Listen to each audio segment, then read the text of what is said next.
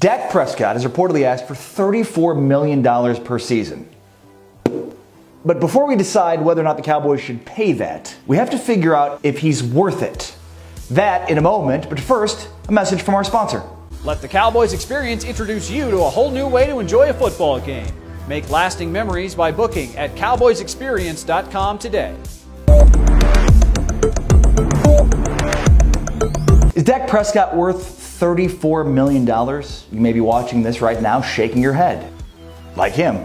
But the reality of the situation is we have to define what worth it means. Is he worth it relative to other quarterbacks in the National Football League? I'm not sure. Is he worth it to the Dallas Cowboys? That is the question because they're not asking him to be a quarterback for 31 other teams. He is, given the other options available to the Cowboys right now, their best option and path forward to winning a championship. It's a number that exceeds well beyond his value to other teams because he's way more worth it to the Cowboys because the Cowboys have no other options. The Cowboys don't have any other options heading into this season, and even if they were to go another way, what would they do? They have too much talent on their roster to be in the Tua Tagovailoa sweepstakes, the following season after that to be in the Trevor Lawrence sweepstakes. So is there any quarterback beyond those guys that are top five picks, because the Cowboys assuredly won't be picking in the top five, are there any quarterbacks that you could see the Cowboys drafting and then developing into a better quarterback than Dak Prescott is right now?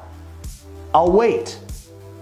The Cowboys' path right now, with the talent that they have, is with Dak Prescott. So the other part to this entire equation, how many years is this $34 million per season worth? And how much of it is guaranteed? Because without those components, it's sort of an incomplete question. We can't really answer it. Is Dak Prescott worth 34 million? Well, sure.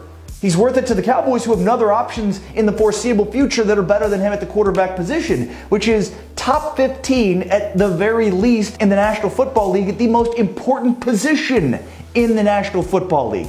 At the end of the day, we don't know in the 34 million per season how much of it is supposedly guaranteed and over how many seasons. So we don't really have enough adequate information to really describe whether or not we would be for or against it. And the most important part of it is the guaranteed money, which my guess is it will be front loaded, meaning we want to give you a ton of money to be the quarterback in the immediate future. But beyond that, we're not really sure what we have with you at quarterback, and we'll make that decision when we get there. The Cowboys right now are tasked with finding the best quarterback for them right now.